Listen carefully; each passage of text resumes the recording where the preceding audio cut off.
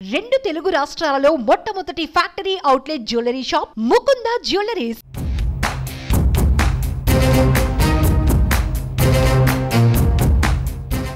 ఎవరైనా పార్టీ పెట్టేది దేనికోసం? అధికారంలోకి రావటం కోసమే కదా? సీఎం సీట్పై కూర్చోవాలని ఎవరికుండదు? కానీ జనసేన అధినేత పవన్ కళ్యాణ్ అలా కాదు. స్వార్థ రాజకీయాలకు ఆయన దూరం అంటారు. ఆది నుంచి ఆయనే త్యాగాలే చేస్తూ వస్తున్నారు. పార్టీ పెట్టినప్పటి నుంచి ఇప్పటి వరకు ఆయన చేసిన పనులే ఇందుకు నిదర్శనం. తాజాగా టీడీపీ బీజేపీ పొత్తు కుదరటానికి పవన్ కీలక పాత్ర పోషించారు. పొత్తు కుదర్చడానికి పవన్ చేసిన త్యాగం ఇప్పుడు హాట్ టాపిక్గా మారింది.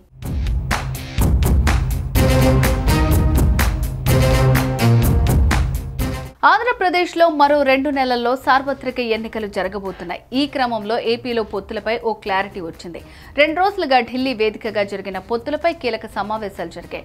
జనసేన అధినేత పవన్ కళ్యాణ్ టీడీపీ అధ్యక్షుడు చంద్రబాబు కేంద్ర హోంమంత్రి అమిత్ షా జేపీ నడ్డాతో భేటీ అయ్యారు. జనసేన బీజేపీకి కలిపి ముప్పై అసెంబ్లీ ఎనిమిది పార్లమెంట్ సీట్లను కేటాయించారు. ఇందులో ఆరు స్థానాల్లో బీజేపీ పోటీ చేస్తోంది. రెండిట్లో జనసేన పోటీ చేస్తోంది. ఎన్నికల్లో సీట్ల సర్దుబాటుపై టీడీపీ జనసేన బీజేపీ మధ్య అవగాహన కుదిరిన తర్వాత ఎన్డీఏలోకి టీడీపీని ఆహ్వానించింది బీజేపీ. ఈ నెల పద్నాలుగో తేదీన జరిగే ఎన్డీఏ సమావేశానికి చంద్రబాబును హాజరు కావాల్సిందిగా అమిత్ షా కోరారట.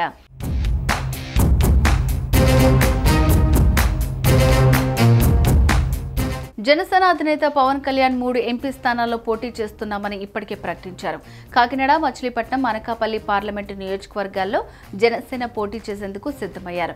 తాజా పరిణామాల నేపథ్యంలో టీడీపీ జనసేన కూటమిలో బీజేపీ సైతం చేరడంతో ఒక ఎంపీ స్థానాన్ని త్యాగం చేసేందుకు పవన్ సిద్ధపడినట్లు తెలిసిందే. కాకినాడ సీట్ను వదులుకోవటానికి పవన్ అంగీకారం తెలిపినట్టు సమాచారం.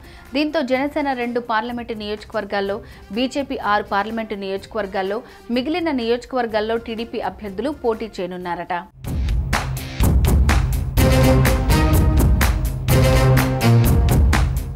అసెంబ్లీ నియోజకవర్గాల విషయంలో బీజేపీ జనసేన పార్టీలు కలిసి ముప్పై సీట్లలో పోటీ చేసేందుకు అంగీకారం కుదిరిందట. ఇప్పటికే పవన్ ఇరవై నాలుగు సీట్లలో జనసేన అభ్యర్థులను పోటీలో నిలిపేందుకు సిద్ధమయ్యారు. మిగిలిన ఆరు నియోజకవర్గాల్లో బీజేపీ అభ్యర్థులు పోటీ చేయనున్నట్లు తెలుస్తోంది. ఒకవేళ బీజేపీ అధిష్టానం అసెంబ్లీ స్థానాల్లోనూ ఆరు కంటే అదనంగా సీట్లు ఆశిస్తే జనసేన అధినేత పవన్ కళ్యాణ్ తన ఇరవై నాలుగు అసెంబ్లీ స్థానాల్లో నుంచి ఒకటి రెండు స్థానాలను సైతం త్యాగం చేసేందుకు సిద్ధపడతారా అనే అంశం అంశంపై ఏపీ రాజకీయ వర్గాల్లో చర్చ జరుగుతోంది.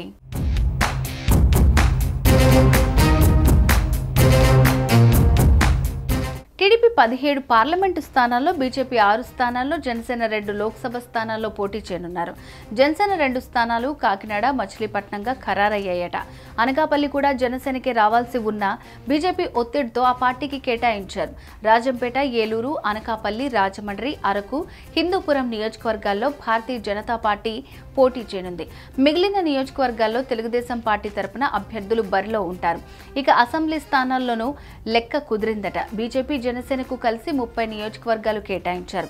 ఇందులో ఇరవై నాలుగు జనసేన ఆరు బీజేపీ స్థానాల్లో పోటీ చేస్తోంది. ఆ ఆరు నియోజకవర్గాలు ఏమేమిటి అన్న దానిపై రాష్ట్ర స్థాయిలో చర్చించి ఖరారు చేసుకుంటారు.